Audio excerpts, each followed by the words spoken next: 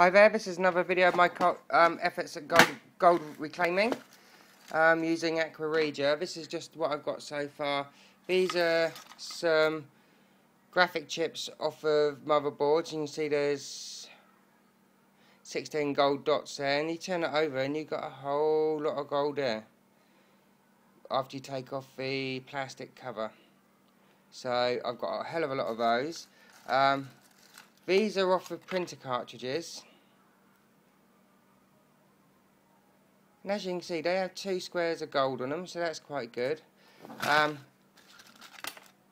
I've got connectors that I've taken off and I can't get the gold pins out of, but I know there's gold in there, you can see it in there.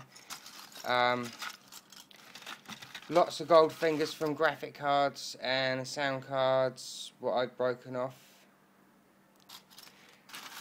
Uh, what else we got in there? Uh, other types of printer cartridge ones, all gold.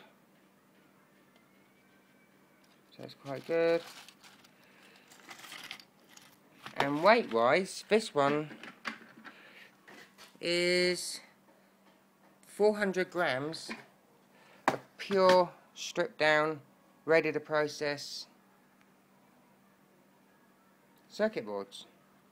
So once again I'm for this one I'm going to look at doing the method what melts all, all metals first but leaves the gold and just flakes the gold off. the water should turn, turn uh, the acid will turn blue. I use copper in the acid to dissipate the silver. So that that that'll be good, and then all these will be gold flake in the bottom of the first lot I do, and I should be able to process that and melt that, dissolve that a different way. Um, but as I said, I'm still looking into this. Um, but as you can see, look at all the little gold bits on that. It has a serious amount of gold on it. Um, and these are just totally plated in gold. Um, there's a lot of stuff here. You can see all gold pins there. So just gonna have to see what I can do. Um, as I said, I'm looking into it. I've once I know what I'm going to do and how I'm going to do it, then